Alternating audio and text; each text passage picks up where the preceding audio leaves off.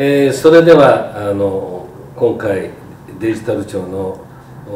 インフォメーションセキュリティオフィサー CISO に就任していただきました、えー、坂明さんをご紹介させていただきます。よろしくお願いします。よろしくお願いします。はい簡単な自己紹介お願いします。はい。あの私はデジタル庁で Chief Information Security Officer という役割を使ったところであります。あの私としてはあの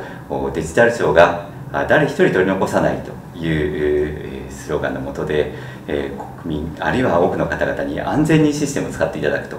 いうことをしっかり担保できればなというふうに思っておりますしまたこのシステムをそういったサービスを提供する側、まあ、行政側といいますか関係の方々も安全に使っていただくということを実現できればなというふうに思っております。あの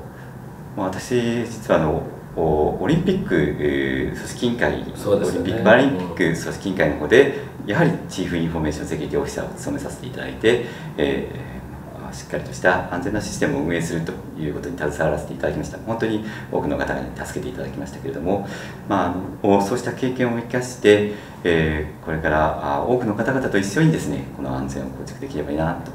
いうふうに考えております。よろしくお願いします。いや、そうなんですね。あの今回やっぱりそのまあ、ゼロトラストというかそのシステムアーキテクチャ変えるのでそのシステムのセキュリティに対する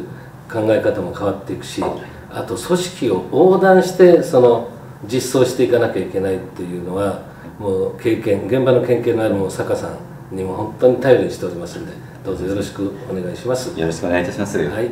あのそういうことで頑張ります。はいありがとうございました